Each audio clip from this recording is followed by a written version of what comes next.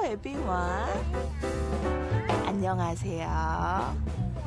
Hello everyone.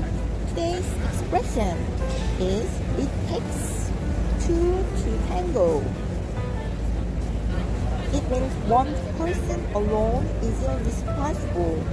Both people are involved.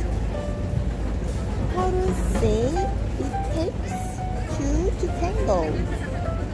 In Korean, 손바닥도 마주쳐야 소리가 난다.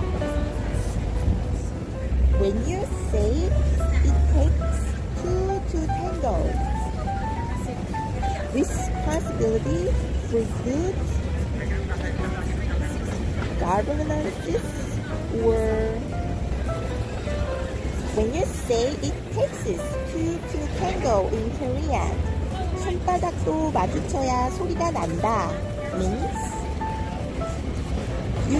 say it takes two or it takes two to tango, you mean that a situation or argument involves two people and they're both therefore responsible for it.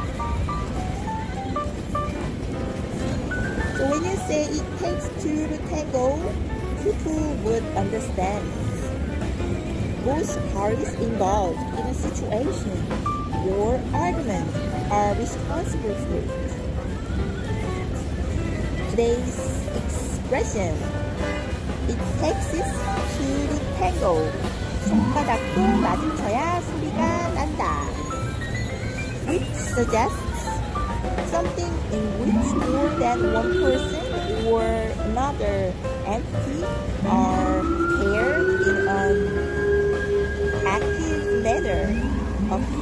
occasionally with negative quotations. Today's expression, it takes to tango. 손바닥도 마주쳐야 소리가 난다 였습니다. 그럼 다음에 또 만나요. 살람. 바이바이. Enjoy. 아,